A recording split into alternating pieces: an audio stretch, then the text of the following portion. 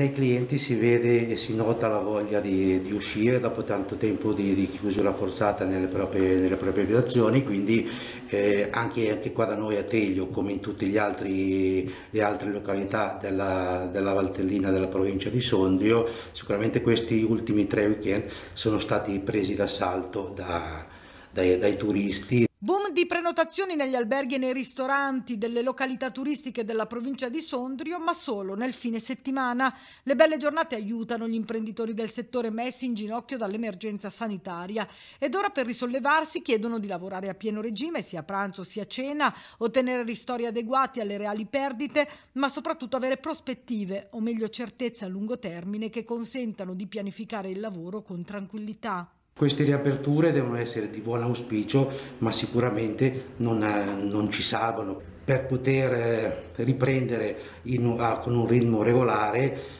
sicuramente bisogna poter aprire tutto il giorno, perché chiaramente non basta solo, solo una, una mezza giornata, bisogna che la gente possa tornare liberamente a circolare e questo chiaramente dipende tutto dalla, dai vaccini che speriamo che in tempi brevi arrivino, che saranno quelli che, sì, che, che certamente potranno farci in qualche modo tornare alla normalità.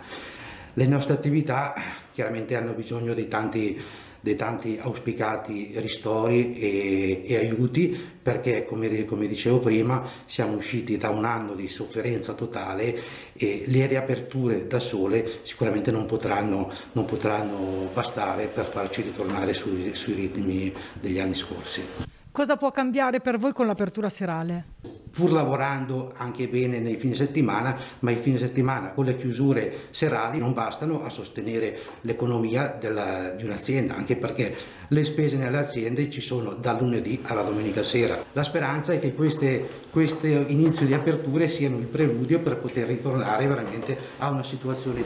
di normalità che tanto ci manca. Siamo pronti a vaccinarci per tutelare noi, le nostre famiglie, ma anche i clienti, precisa Fabio Valli, alla guida dei commercianti del Tiranese e vicepresidente provinciale di Federalberghi. Pensiamo che sia necessario vaccinarsi, quindi l'augurio è che, tut, che queste benedette vaccinazioni arrivino veramente al più presto per poter riprendere a lavorare in tutta tranquillità.